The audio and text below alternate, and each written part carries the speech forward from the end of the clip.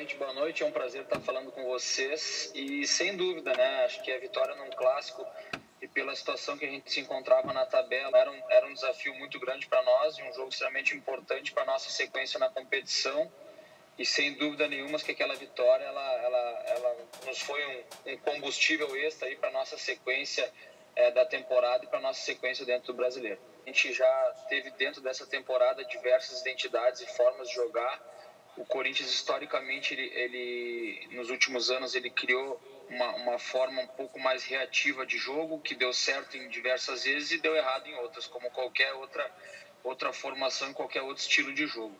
A gente pelo momento que a gente vem é, vem tendo uh, dentro da competição de, de reafirmação de ascensão dentro da competição e até mesmo antes quando a gente estava numa posição mais abaixo da tabela a gente sabe que as coisas elas não fluem naturalmente, né? A gente tem uma, uma certa dificuldade, há uma pressão interna de cada um para fazer as coisas darem certo, tanto no dia a dia quanto nos jogos.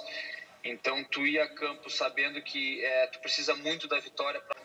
mas a gente aprende muito na dificuldade, né? Então, acho que a gente vem, vem crescendo como equipe.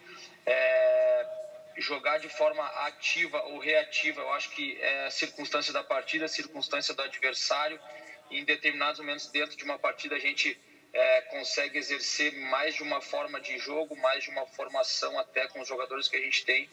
Então acho que o momento que a gente vem vivendo de, de ascensão, de crescente, a gente preza muito pela vitória. Né? Se for de uma forma um pouco mais reativa, a gente não vê problema nenhum, porque todo mundo está é, disposto a se entregar pelo clube, está disposto a se entregar pelo time e para que a gente é, melhore nossa colocação na tabela mas em momento algum a gente pode relaxar, né? Então, é, o nosso primeiro objetivo ele ele está em andamento, ele é, mas a gente já pode sim começar a pensar maior, a pensar grande, a quem sabe é, beliscar uma pré-Libertadores e, e, e passo por passo, né? A gente tem encarado cada jogo do brasileiro como uma decisão até